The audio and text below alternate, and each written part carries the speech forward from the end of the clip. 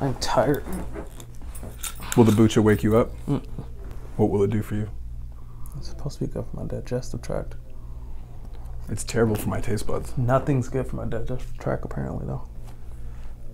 I cannot get my gut health on point. This is delicious. I love kombucha. Yeah, you know what? Kombucha is one of those things you either love or supremely dislike. Well, I guess we're rolling right into another episode of the Nameless Recovery Show. Yes. I'm Estil Wallace. Today with me is the famed Marcus Clark. Not famed. There's no fame. There's literally the, zero the, fame. The renowned There's no Marcus renown. Clark. Th- Neither one of those are true. The esteemed, the herald, the widely known, revered, feared, and respected Marcus Clark. Ladies and gentlemen. Meet none of those things are true. Welcome. Thank you. Welcome to the office. So the Nameless Recovery Show is getting done in the dark today. Well, not in the dark. It seems like we're in the dark. To them, it's not the dark. Should we whisper? No. Is that weird? Yeah. Okay, I won't whisper. Nobody wants to hear whispers in their cars. Driving around looking at some dudes whispering in the dark. They're like, what the fuck? They're not. Hopefully, if you're driving, don't look at anything right now. doing. A- a it's Audio. official. If you're driving, just listen. Yeah, audio only. Audio specifically.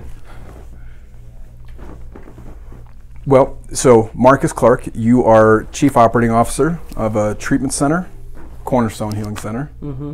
It's great to have you. Um, so you're a professional. You work in the industry. You're also in recovery yourself. Mm-hmm. Tell me what before you got into recovery, personally, or obviously you got into it personally before you got into it professionally, but before you got into recovery, what was your? Did you have a view of what drug addicts look like? No idea. None. Did you ever? Didn't even cross your mind. What about No. alcoholics? Nothing. You didn't have a view of what that is. I knew nothing about that. When's the first time you heard the word drug addict and you were like, March 10th of 2011. "What happened on March 10th?" That's where I got sober. And they were like, "What?" What you had to say you were an alcoholic when you walked into the meeting. Was that uncomfortable? I didn't know. I didn't know. I had no idea. I don't know what that meant. I didn't come from a life where that was a thing. That's not. It was never. I never heard of AA. I didn't know about alcoholics. I didn't know about drug addicts. I didn't know about anything. It wasn't. It wasn't a thing. People smoke. I saw crackheads in South Carolina, but that's it. I had no idea what a drug addict or an alcoholic was, or had never even really. What do crackheads in. South Carolina look like? Crackheads everywhere. crackhead's a crackhead. Not really. Jerry Garcia smoked a lot of crack. Well, you know. He look um, like a crackhead. He looked like a hippie. homeless dudes, dudes experiencing homelessness. Um, Let's talk about that. Dudes, Dirty. people experiencing homelessness versus homeless people. Why do you say that? that's because I was a social worker. Well, yeah, but so social Stigma. workers stigma. So give me give me some background. Why? What's the difference between homeless people and people experiencing homelessness? Homeless person separates you from other people. How? You're homeless. I'm not homeless. You're homeless. I can't be like you because you're that thing. Same thing as what people say you're you're a drug addict. Drug addicts. It's like anybody could become homeless. Interesting concept. So anybody could become homeless. So they at any given point somebody could be experiencing homelessness. Yes. But you judge a person by that though too. Yeah. You're he's a that's his defining marker is the fact that he doesn't have a home. It's like a biomarker. It's like a birthmark. Right, when it's not true. He could have been successful. Oh, he's a homeless dude. Yeah. He could have a mental health issue, he could be a drug addict, it could be a million things. So it's just like you ever sleep taking out- that stigma. You ever sleep outside? Yeah, a bunch of times. You don't look homeless. No. not right, but uh, apparently I transitioned from being homeless person To being a, being a homed person? a homed person. It's like that doesn't make any sense. It's a misnomer. it It makes misnomer. kids feel like they don't. Well- his name's not Steve. He's a homeless person. Well, and I, I, I've always found it interesting that you say that because it's not about political correctness as much as it's more about stigma. yeah, like- it was, if it was PC, I wouldn't be saying it. PC is like saying something so you don't have people say something against you. I get more flack. So people saying- don't get, leave you negative comments on your tweets. Right, I get more flack from saying people experiencing homelessness. Like no one cares. All right. Well, then, what the actual fuck is going on in the world? There are more people dying every day of drugs and alcohol than ever before in history. This is July of late July of 2020, mm-hmm. and the numbers are through the roof. What's going on out there? More people. Why are more people dying? Yeah, I mean, in 2015, it was like, oh, opioid crisis, opioid epidemic. We're going to get a handle on this thing. And the numbers have just escalated every year. 2018, we started passing legislation, things started changing policy, and it's getting worse still. You mean with the epidemic, or just why are people experiencing like it's void of epidemic? People would still be dying at a higher rate than. Hard to say, but that's where it's at. I mean, we've got this coronavirus thing going, so I have no doubt that contributes to it. But what, what, what is it? What is causing so many people to die? I don't know. I mean, I, I have my ideas, but That's what I want to know. I want to know your ideas. a million reasons. We're a culture that's set apart. Where we are very uh, like the American culture is very isolated. It's an isolated culture. People don't go outside. People don't talk to their neighbors. There's no connectedness in the community. It's a lot. Not, let me not say there is none. There is some, but we as Americans have a higher rate of diabetes. We have for for a fourth level four country, we have um, what's it called with uh, babies that are born die, die when they're born. Mortality. The mortality child mortality rate is really high in this country for for a level four country. Um, we have huge houses for small groups of people. Think about what our ideals of what a lot of space is. It's true. Suicide rates are high. Suicide rates are high in level four countries across the world. though. Right, but you think that GDP growth would be like people are more happy, but it's not true. Um, people thought that for a long time. It's not even connected. If we could just solve all of our It's just like everything. It's environmental problems, we would be happy, and we could just life would flourish. Civic, civic unity would occur, and we could focus on art and education and music. But There's a you're right that that hasn't really That's happened. from the book. that you Which read. one, Sapiens? No, your the big book. Oh, It's is it? exactly what it says. Well, It talks about that the, the pros the prosaic steel girder. the steel girder. Right, Yeah. that's well, what I but mean, a lot. There's a lot. There's a lot of people that think have thought that in decades past. Like once we, once we get past this industrial revolution, or once we get past the Now the uh, technology. the techno- technology revolution, things will be so much better. We'll be able to focus on the things that really matter in life. But the truth is, people are still people. I think it'll become more integrated. I think technology won't. Right now, the biggest problem with technology is the interface. Expand on that. Interface. This is my input. So I have all of right here in my hand. I have more knowledge in this. I have all of the words. Anything I want to know. Literally, the slowest part of this transaction is the bandwidth of the internet. Right? well, that's not the slowest part, but the slowest part is my thumbs. Right. I can only type so fast and I can only read so fast. So right now the interface that we have to have with technology is cumbersome. That's why they're building Google Homes and Siri and so the it's seamless. When you wake up, you think what the weather is, it shows you what the weather is. Eventually technology will be more integrated into our daily lives to where it's more natural. On one hand, you have, on one hand, you have the the beneficial parts of technology revolution. We have the possibility of smart cities, completely seamless integration of of uh, you know the Internet of Things, you know, from our computers to our cars to our air conditioning to the way we access information for education for everything. Kombucha. Just wanted to Kombucha let them know. delivered. I just want the people to know that this is kombucha. Oh, um, yeah, he likes the booch. Yeah. so there's that. That's the that's the positive side, right? Medical advancements. You can go on and on about the benefits of integrating everything uh, with technology. The drawback, and the one I'm hearing more and more lately, especially since during you know, 2020, we've had ever since the coronavirus has kind of changed the way the entire world operates. Every not everyone, many people have been pushed slash forced slash encouraged into this uh, into these digital platforms to continue connecting even you know even though we're not in person. And i would i've heard a lot of people saying lately and i think goes all the way down the line with technology and i think that's why some people have feared it even from the beginning and why some people have never taken to social media. And that is the theory that the more we create technology to connect us it does the opposite Yeah. It puts us further apart. I don't think technology to connect us is what will connect us. I think technology will become so normal and so integrated in our lives that we will spend more time connecting one on one. Because we live in a society where, and we went way off the subject of what's happening, but it, we'll wrap it back around hopefully. You're a glass half Um, full kind of guy right now, and I like it. What will happen is is that that technology, the interface, which makes it hard to connect, the Zoom sucks. Right. Zoom's garbage. To connect on Zoom? Zoom's a horrible way to connect to people. It is. There's a whole set of memes now and YouTube videos and gifs and everything talking crap about Zoom because it sucks for connection. It does. It's there's too many things that we pick It's up. better than nothing. For those of you that are watching Boys and Girls, if you can't get out to get to a meeting for whatever reason, and the Zoom meeting is the best you can do, do that. Oh yeah, whole different subject than Zoom meetings. But But, if, like, but officially, I mean, sucks. it sucks. You couldn't have this conversation via Zoom because you can't pick up on certain cues. No.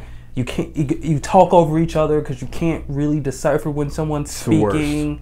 There's so many ways that speaking via a two-dimensional object is way harder than speaking via a three-dimensional object, and the fact that we can pick up naturally on each other's like cues. Yeah. You can feel it. You can't pick that up via a TV screen. Well, we did that presentation for 200 veterinarians, Yeah, it was only and we half couldn't see, we couldn't see anybody. No. You're, you're pitching to yourself, It's weird. essentially. It was it was super weird. But I think those will be that day will be gone. It's like the movie. Uh, what was the big blockbuster digital movie about the the colony that we invaded? They were all blue. I don't remember. Oh, uh, Avatar, How their technology was so built into their world. organic. Right. We will get to a stage of How the ponytail syncs with the horse's Right. ponytail. Like we will get Shit's to a dope. we'll get to a level of organic technology, and it and we'll spend more time in things that matter because eventually people won't work anymore. Where my where I can grow a little rat tail, it'll connect to my car. I mean, we'll be going along. They're already doing it with Neuralink. Neuralink. You'll get in. You won't even. You won't even drive your car. You'll get in a car. It'll drive you to where you need to do. You'll spend more of your life connecting with people rather than trying to. Because we have to. I have to spend half my time producing for people who aren't in my immediate family. You have to spend a large portion of your life producing for people who aren't in your immediate family or even in your tribe of people. So the amount of energy that you have to put out to produce for even more. It's like if I work for BMW, I'm building cars for the world. When we were hunter gatherer, I was just producing for my small band. So I wasn't spending 40 hours a week working. I was spending 10. I wouldn't hunt it because I was a hunter and we hunted once a week.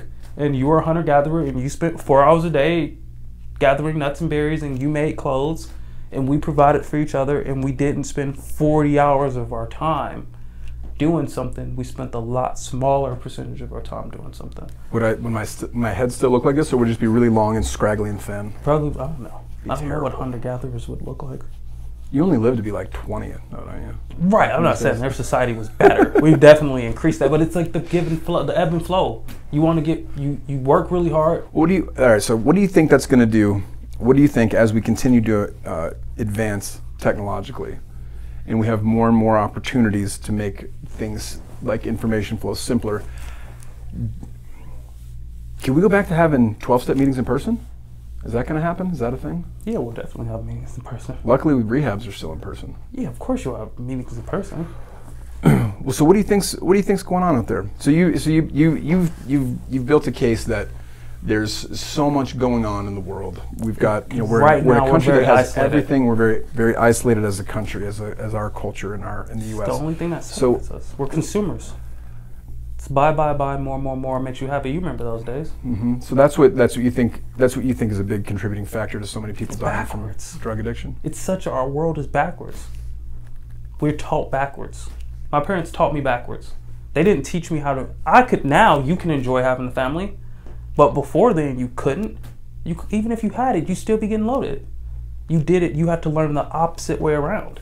You had to learn how to feel yourself, feel connected to the world, so that when you had a family, you could be grateful for it. You had to learn to be grateful for what you have, like live in gratitude, and then when you earned something, you felt something from it, rather than get all the stuff, the feelings come second, the feelings come first, and the things that you acquire as a result of this feeling have meaning.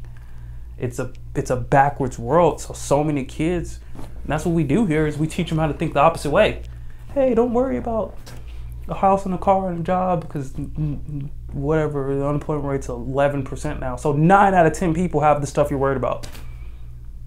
You're literally worrying about your God-given right as an American. That's what you're worried about. I'm It's not going to get the thing that it's everyone true though. gets. N- New sob- new sobriety, not for all people, but for many people, people that come in, especially younger people that haven't had a career and they don't have much of an education, or maybe they're mid-education. Yeah. yeah, they come in pretty much destitute, probably living off mom and dad if they're lucky enough, and yeah, have very little, and they are very concerned about where am I going to live, where am I going to work.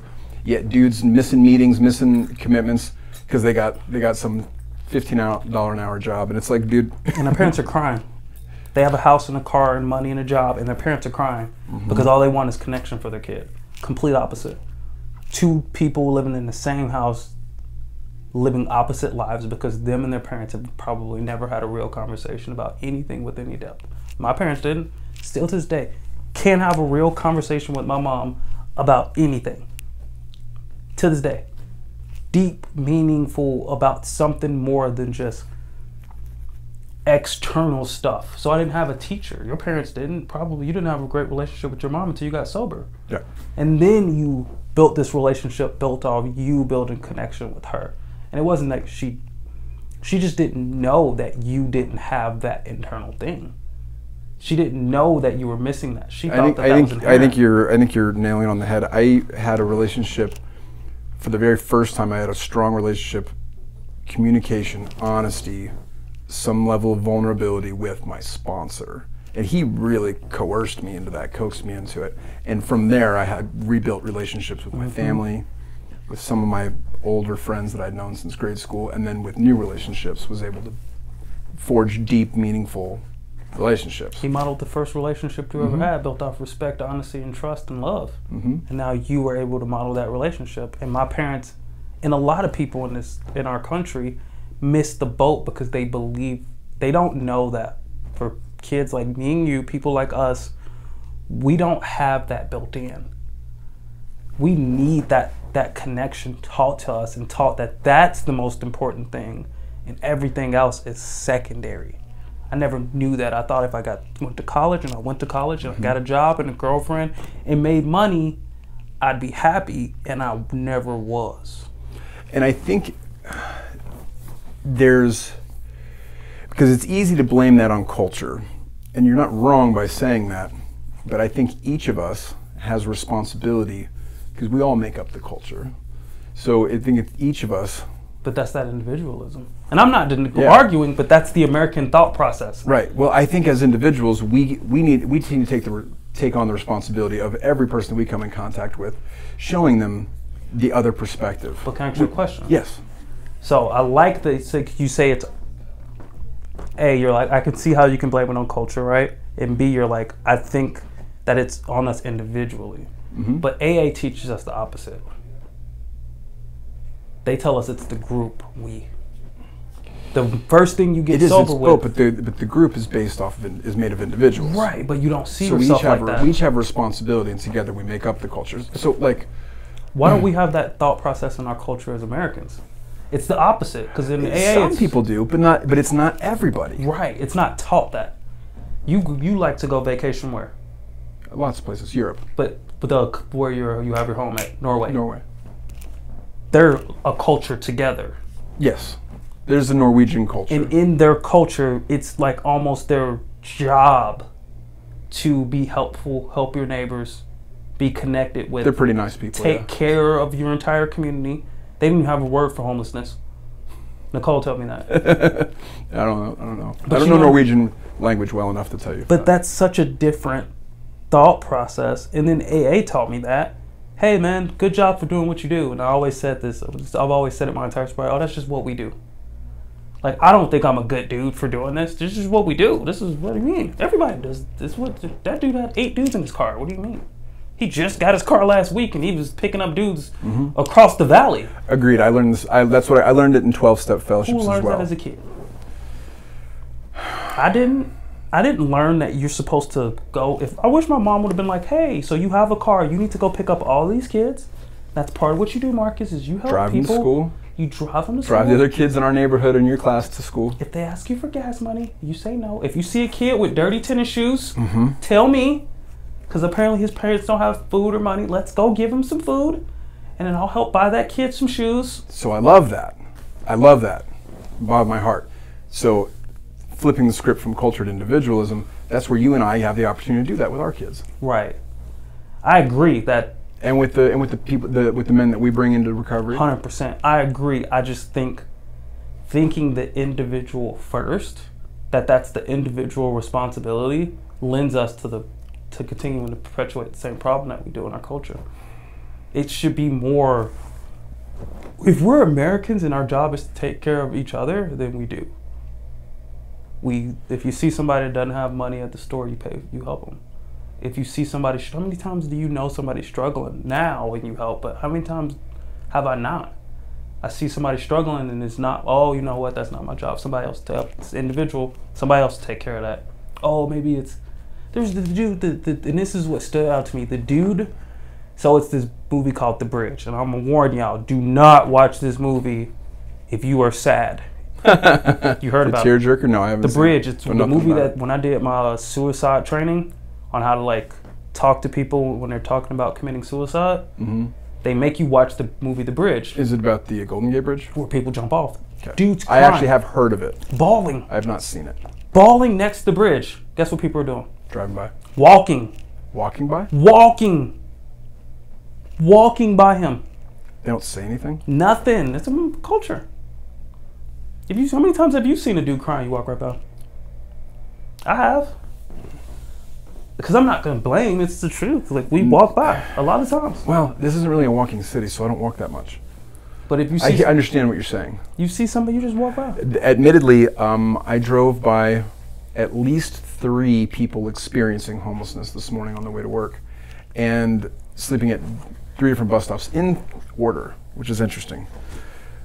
Because this part of town, you don't typically see people sleeping at bus stops, but It's three in a row. becoming worse now. Yeah, three in a row. You don't need the news to tell you that. No, Use your eyes to tell you we got a, home, a problem with people experiencing homelessness, Yes. and it's getting worse in Arizona. homelessness is on the rise. in Phoenix. Houses are getting more expensive. People are experiencing more homelessness. Weird. And admittedly, I drove by them, looked at them, observed them, and thought, I don't have the calories it takes to help solve that. So, yeah, I mean, so yes, I get it. We pay people to do it. Yeah, I mean, and we do help people in that capacity to a degree, Hundred percent. but it's not necessarily every person I pass by on We the create street. jobs for it. Got social workers, dog. It's true. We don't need. You mean my responsibility? Let me. How many people will figure out who they can call before what they can do? That's now we're talking about a very a very sore subject for a lot of cities, but it's getting worse in Arizona, but I mean particularly bad in California. There's there's so many people living homeless. And many of them are either suffering with addiction or they're suffering with mental illness, severe mental illness. And they've they've simply slipped through the cracks. They've gotten to a point where not enough people give a shit enough and that's just the way they live. I mean- I mean, this might be controversial, but let's defund the police rather than what I can do as an individual.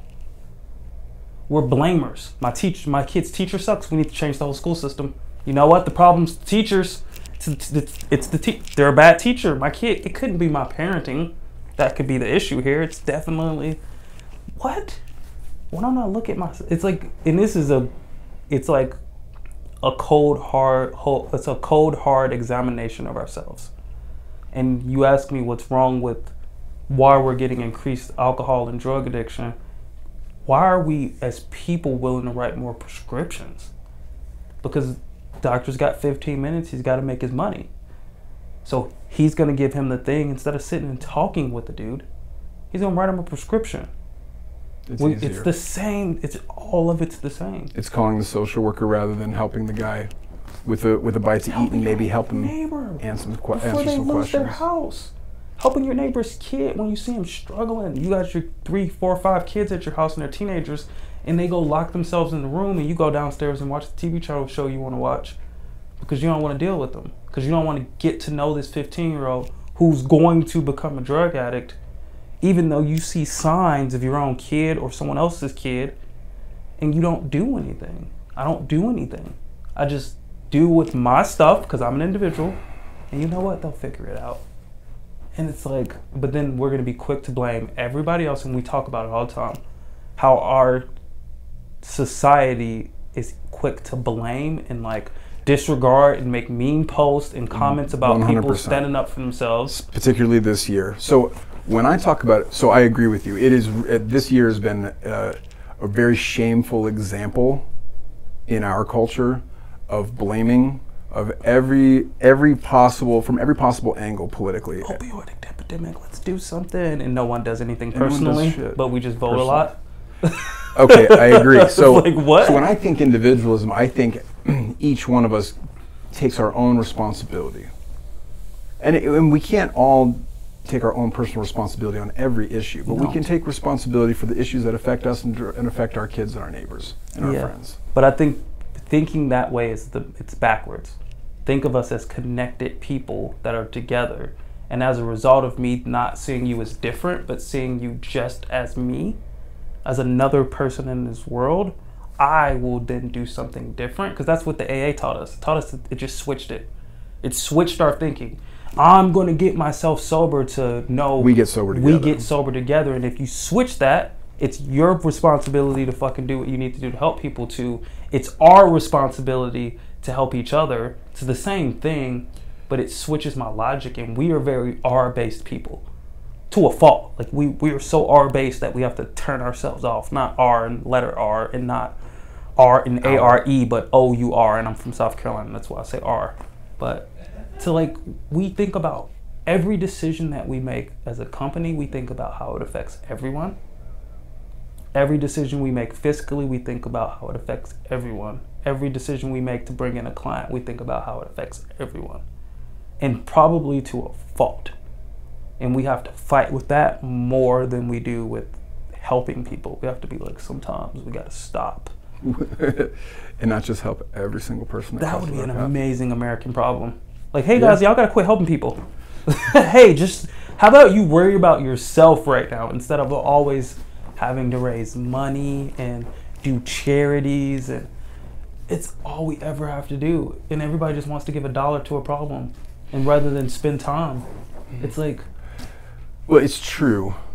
It's much easier to fall in love with the pitch from a commercial, an advertisement, something I saw on social media, or uh, or something my uh, my friend or my boss is all fired up about, rather than actually research an issue, form my own opinion independently, and then contribute in whatever way is manageable and meaningful for me. And I can't. And again, I can't do that with everything, but with addiction, I can do that.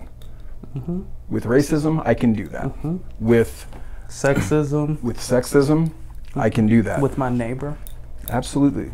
You need anything with somebody at the store? With homelessness, with people living homeless in this city, I can do it to a degree, but it's pretty small. But again, if it's just me, that's, I mean, I shouldn't try to put a label on it, whether it's good or bad. It is what it is. I don't want to pat myself on the back. I've gotten some dudes like you have from being homeless to being inside. And but that's not by no means what we do for a living. It's not what we do all day, every day. And I certainly wouldn't want to measure up how many people I've done that for or you've done that for against an organization whose sole purpose is to do that. But if every person did that, instead of we wouldn't need organizations to do it. And it goes into this dude talked about it, our obsession with superhero movies. It's an American obsession with the It is. superhero. We want there to be one dude that fixes everything and saves us, rather than me taking the responsibility of doing it myself. I need you to save me. The, the officer didn't do his job because he didn't. The firefighter didn't. He, they used to put out each other's homes if somebody's house caught on fire. You know, like that's I don't know. I just really like that. Really, honestly, to me, is what is causing. I don't think you can because if you want to systematize it and fix each system that's broken, you're going to fix 12 million systems. I think if you change well, the and way then how many think, and then how many iterations of each system? And who the and who the fuck votes on that? It's going to be it's each one's a shit show waiting to happen. we'll never get anything done. It's true. We'll continue to, to vote to talk about the, the opioid epidemic, which we did, and it actually got worse. And we're going to continue to take buttloads worse. of money, truckloads of money, and throw it at the com- this problem and continue to have the same problem. It's like, what if you would have talked to your kid when he was 12 and he was sitting at home and he felt isolated and he was miserable and you didn't know what to do, but you researched it instead of just taking him to a professional off the bat. You would have Giving him ADD it. medication. Mhm. It's it's tricky, man. We get into this place where so many things are offered to us, they're productized.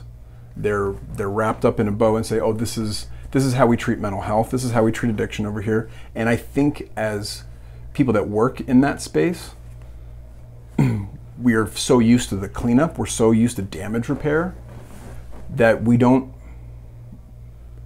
we meaning not just as professionals as a community we don't really think about prevention DARE doesn't fucking work at least they were thinking about it but it didn't it didn't do shit Cause DARE was the drop. That was it. My kid learned DARE. I don't gotta talk about drugs. right and, Birds there, and and there, there's the product here's prevention Why does the school have to do drugs? shouldn't somebody do something about all this drug drug addiction why don't we have a prevention effort just keep We'll sliding have- everything to let's, schools. let's have let's have police officers go in and, and try to try to convince them not to do drugs Talk to my kids about sex. How about the schools do that?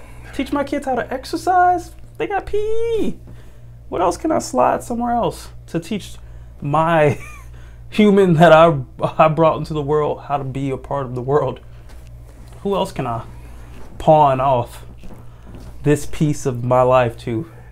and this is a and what you're proposing i think is i think has a lot of merit i also think it's really tricky There's plenty of countries who do that are way more connected as a unity. True. as a. I'm I'm just thinking about I'm thinking about parenting in 2020 in America. It's it's besides the fact that we've got all the dangers of big city life in major cities. You've got social media, all the all the technological dangers, and we most I wouldn't say not say most many parents, if there's two parents in the home, they're both working. And if and then there and then there are many that are just single parent families, in which case the parent is working. So you get minimal interface time with the child or Right. children. So how how and these are questions even for myself as a parent. You know, I've got kids. How do I as a parent spend the appropriate amount of time talking about the appropriate information, those those critical learning moments, those Starts formative years? that. What's that? starts before that. There's prep and prep on prep. Before I have a kid, I look at my lifestyle. I make decisions based off I'm going to bring a person into a world.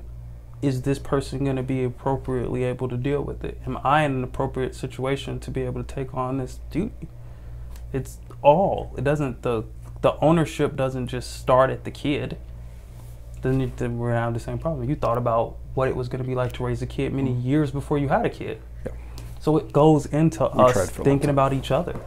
It goes into that. If I have your kids are going to learn that this is how you're supposed to be raised before you have kids. You talk to dad, and then you ask him questions about like what it's like to be a parent, and then you prep before you have a kid because you were raised with parents who prep before you had kids. Oh, you're making me sad. I wish my parents were here and we could talk about parenting. and it's just like that. I mean, I wish I could talk to my parents about parenting, but it, it it's it's just that whole thing, man. I, I watched in Barcelona where people they stopped at the corner and they talked to people. It blew my mind. You didn't see anybody in restaurants with phones. Not one person. Oh, Oh, you go to a restaurant, nobody's on their phone. You sat and you ate and you sat at benches and you talked to people. Populated city. Huge amounts of city life and everybody had dogs and they saw each other's neighbors and they waved and they knew their neighbors and it was just different. They there's plenty of cities who have are extremely populated who don't have drug addiction to the level that we do. Or I mean, think about Japan and the suicide rate in Japan. Yeah, Isolated people who don't have connection with each other and yeah, we need connection. We talk about it all the time. yeah. It's important. It's the most important thing for humans to have connection. Can't rip it apart and you can't replace it with technology. That was a. That, first of all, that was fucking amazing. That was a really long, great answer to a very simple, simple but hard to answer question. Why is addiction out of control in 2020? And isolation is a good answer. More than more than ever, I think, in this last few months. Obviously, people are more isolated than they've been, even in an isolated culture, or even more isolated this last most of this last year. And we have to have, watch commercials telling us to call our friends. I just it blows my mind that that's even a commercial. Have you seen those? No, I don't watch much uh, Hey, if, television. With I know every, and it's all com- it's all big companies. Like Mhm. if you're struggling and you know pick up the phone and call your friends and check. I'm like, why do you need to teach me that? Because unfortunately, there are people that haven't heard that. I just put a video on Instagram uh, yesterday, the day before, telling people to do that. But we all give each other high fives and like videos. But then what are we doing? I ask dudes all the time when I go to a meeting. I'm, we're gonna, you're gonna get here, and then people are gonna say some dope stuff, and you're gonna hear some amazing speakers talk about trials and tribulations and struggling through to get sober, and then you're gonna go home and cut your TV on. And you're gonna go back to sober living and play cards with your boy. Or you're gonna just Play Halo till 4 a.m. right? Nothing wrong with that, but yeah, the the way the tools that are taught in recovery are supported is practical application. Spe- you know, meetings, 12 step meetings, are just where people in recovery come to to share experience, strength, and hope. They listen to each other, they talk to each other, they network with each other. What do we have them sit in all day? Meeting before the meeting, what's that? What do we have our clients sit in all day here? Group Which is what socialization, not isolation. That's all we teach these dudes. Hey, how do I stay sober? Isn't that all we teach them? But you know, it's the majority of what we do. Yes. We deal with family systems mm-hmm. more than anything else. How you were raised, what happened. Okay, let's deal with that. Let's teach you healthy family systems. Let's mimic healthy relationships in your life. Let's teach you how to connect with people, and let's teach you how to like look at yourself and make accurate assessments of what's going on. Mhm. Learn how to love your neighbors, tolerate differences of opinion, get up on time, go to bed on time, exercise your body. Welcome to life. Welcome to adult Oh, it's- adulthood. It's hard. That's beautiful. Welcome to the beautiful struggle you get to have. it's a gorgeous experience, man, when you actually are in it, man. It's just, I never was for 25 years. I never felt consistent. I never felt connection. Ne- I can think back on my life. Isolated and alone. I lived 25 years before I ever lived one day. Can't even, you can't put your days in crying from your daughters po- at the nothing. Did you see her jump in the water? Marcus, look at the video. She's jumping. In, oh my God. What? How much more connected to the world can you be? right. People don't get that. They miss that. I missed that for 25 years. Me too. I had no idea. I actually deluded myself into thinking that I didn't need people. You, of course not, because you couldn't find connection. Uh-uh. You And so I had to convince myself I didn't need it. right? I think addiction addiction can work that way because it's all it's primarily between the ears and I could I could can if some if I couldn't get something to work I would convince myself that was useless. Mm-hmm. Finances, family system, love, connection, I'm gonna find that connection self drugs. self care. That's what we're looking for when we're getting loaded. Is Mm-hmm. that connection, and drugs gives us that connection. Makes us feel. I thought it was in addition to, but it was actually in place of. Mm-hmm. And then years went by. You strip drugs and alcohol away, and you have a you have a fucking dysfunctional adult that doesn't know how to live, doesn't know how to love, doesn't know how to receive love. Argues with you about love. Mm-hmm. You're just trying to save them, and they're just like, "No, I got this. I know what I'm doing." I'm like, "All right, buddy. Good luck, man. You sound miserable. Misery is just part of life. Are you happy? Yeah, I'm happy.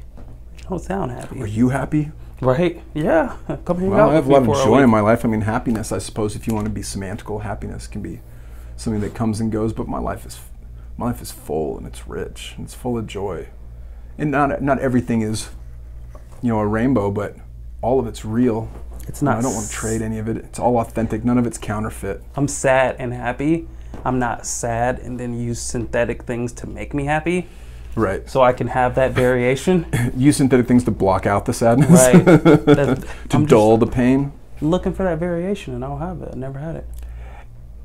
And I know that some people start that way. They start with like trying to numb pain or get away from that. And I get mm-hmm. that, especially people that have had traumatic childhood experiences.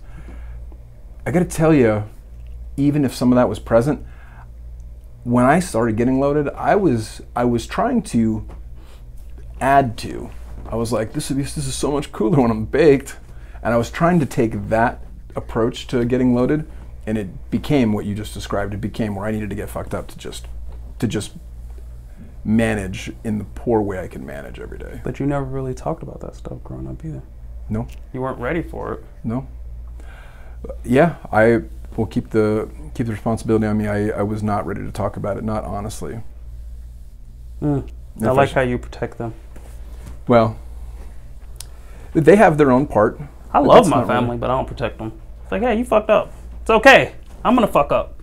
but that's like, you did. I mean, I don't know if that would have stopped me from being a drug addict, but it would have definitely prepared me more for life. Well, I look. I would def. I, I would. I've said this before, and I'll say it now. I did not grow up in a household where we talked about much that was very deep. Uh, I grew up in a household where we just, if it was good, we talked about it. If it was bad, we just didn't really talk about it. Mm-hmm. Once in a while, there'd be a come to Jesus talk over bad grades or something that was very serious, but it was usually pretty poignant and Right short. Like if, if finally my dad had to say something. You couldn't go on a journey with them. No, no, no, no. We didn't get into. We didn't talk like this. I think this is. I didn't talk like this with anybody but that's like human nature. until I got until I got into recovery. I used to sit around the fire and people would tell stories and you'd ask questions and they I would love the visuals I get when you with your uh, with your analogies. I just like to think about human nature as a whole, man, and that's like that is the most important part of like us is this thing in our head, and you need someone to navigate that that waters with. that's that's what it's about is navigating with. I like that. I like the way that feels. I, I like the vision of that Fucking crazy up here without people. because it's not like you guide me through it or I guide you through it. It's like we help guide each other because we're not all we're not all struggling with the same thing at the same time. Yet we all struggle with the same things over lengths of time. More often than not, there is not a right answer. No, life's super dynamic. Mm-hmm. Everything's a moving target. It's just that time, man. Giving up the most precious Once- gift you have. One size fits all T-shirts don't fucking work for anything. No, they don't. They don't fit anybody. They cover you. right, You know what I mean? right. They work good as a wash rag. Mm-hmm. Yeah, one size fits all T-shirts don't fit anybody very well.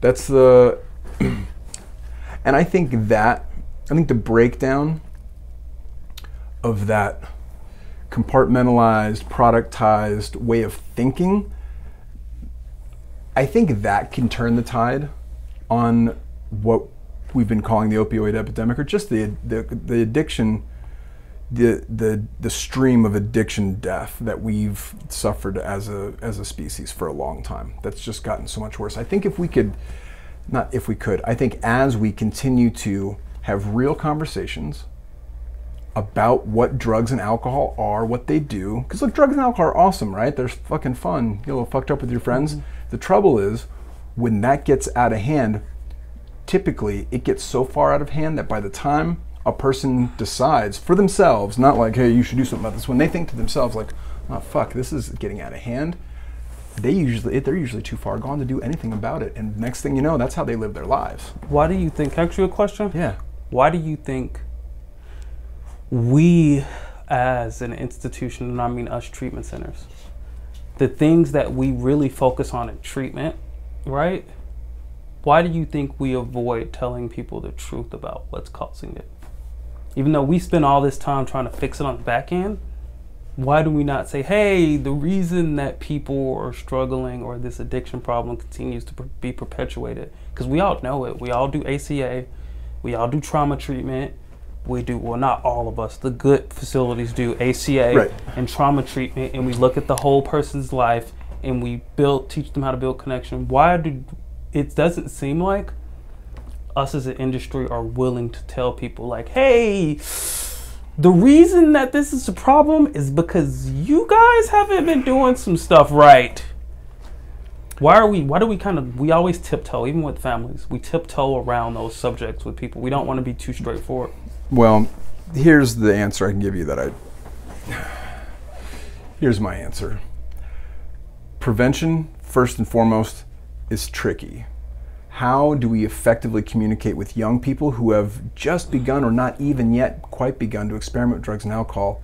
how do we how do we effectively communicate to them what the real dangers are? Because it's not like What about the before the before though? Before prevention.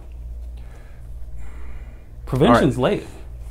do you want to know why we don't do it, or do you want do you want what is likely a a semi-accurate answer of What do you feel? Whatever you want to, however you want to answer. Well, I think we don't approach it because it's fucking hard. It's so it's it's it's probably as or more multifaceted and complicated a problem as is solving an addiction later in life.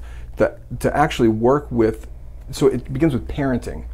It begins with how a human being is raised. Hundred percent. So, how a human being is raised doesn't necessarily determine hard and fast that they're going to become a drug addict, but statistically, it skews in that direction. That should be a slogan.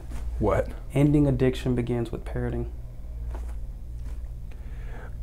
So, statistically speaking, like let's talk, talk about ACE testing, adverse childhood experience mm-hmm. testing. Now, you could, for anybody that doesn't know, ACE test, just Google it. ACE testing, adverse childhood experience test.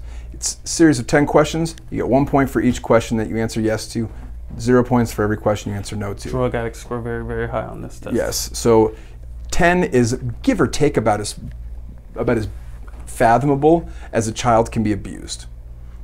And all the way down to 0. So a lot of people fall anywhere on the spectrum that you can imagine. Now, anybody who tests 4 and higher, the propensity for them to be uh, addicted to substances, drugs, or alcohol is something like 75 or 80 percent.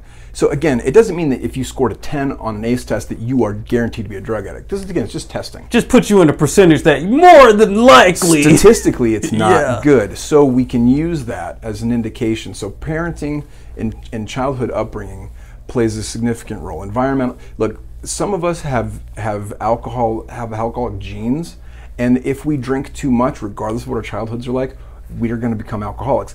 But that if we're trying to answer the question, if we're trying to answer the riddle, if we were to work on parenting strategies and really teach people, new parents, how to parent more effectively, more communication, Be more connected. it would reduce the number of active addicts in the world over time. and it would shorten the amount of time that it takes for people to get sober. Because we takes we spend, you spend so much client we don't name. The cleanups of the cleanups a shit show. you spend just the amount of time you have to take them to be able to be present of themselves is so long. It takes people sometimes a long time just to be able to be present with their emotions, what they're doing, and how they affect people. We struggled with the dude with that recently, and mm-hmm. until he had that moment of clarity where he saw how he affected other people, he connected with how it made him feel, he was never able to stay sober. Would that take a month and a half Here, plus the multitude of times before. in the other treatment centers? It, that's the key. Yeah. That's the first step you learn. It's the first thing you learn.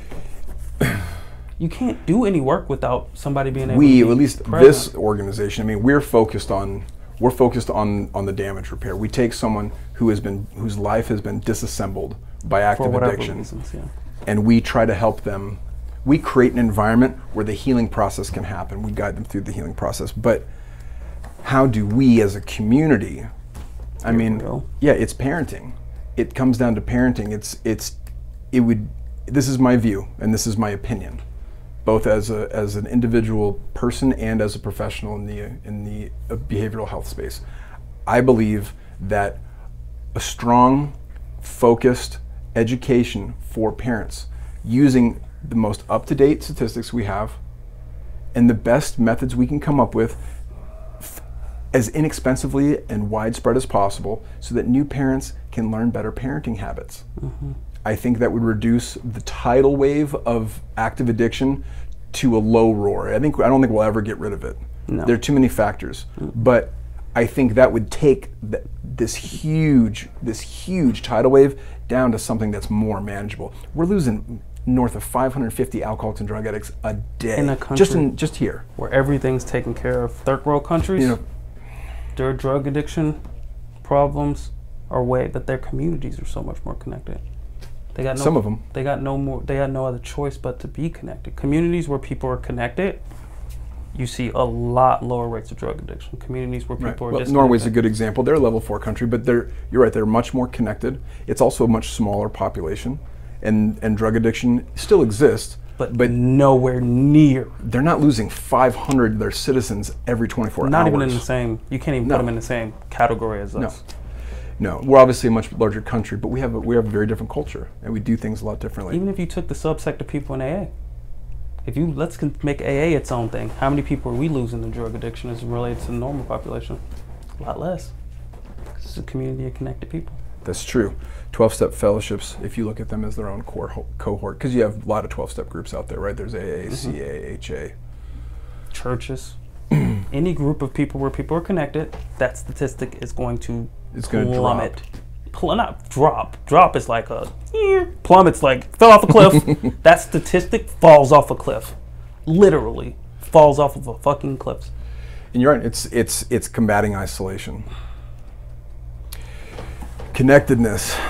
That is a long ass discussion about a simple question, but that's a it's a hard. You can't. It's not a simple answer. Is the truth. That's uh, that's correct. And there's a anytime people, parents or other um, people outside of the industry or outside of recovery, kind of peer in and they ask questions.